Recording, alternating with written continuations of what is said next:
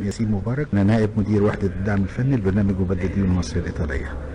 المشروع بيهدف إلى تحسين الظروف المعيشية للمجتمعات الريفية في الواحات البحرية. من خلال تعزيز الإنتاج الزراعي للمحاصيل التقليدية مثل الزيتون والنخيل والمشمش والرمان حيث تمثل هذه المحاصيل أهمية كبيرة لمنطقة الواحات البحرية سواء على المستوى الاقتصادي أو المستوى الاجتماعي.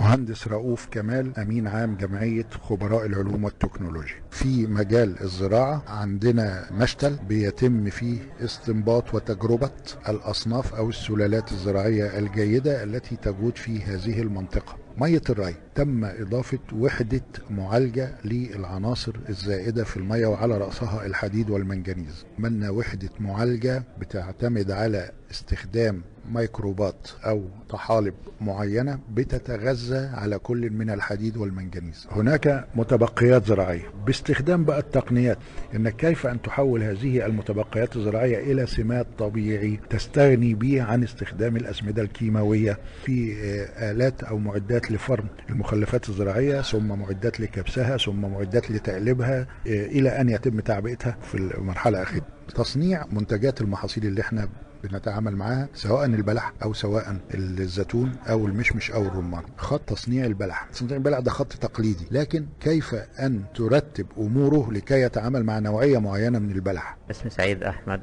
كامل وظيفة مدرب على صناعات منتجات النخيل تدريب على الجريد وتدريب على الزعف. بتاع النخل بالنسبة للجريد ده ليه أشغال كتيرة جدا. بالنسبة للجريدة نفسها إما بتخش على ماكينات تتربع وتتعمل كونتر أو بتتعمل نوع من الكراسي أو من الترابيزات أو فصل الجريد اللي هي العادية اللي إحنا نعرفها كلنا. بالنسبة للقلب بتاع النخلة الزعفة البيضة فدي اللي بتشتغل بتتاخد دي عشان لينة فبتتعمل منها الشنط والبرانيت استخدامات بقى سواء للتصدير أو للسوق المحلي あっ。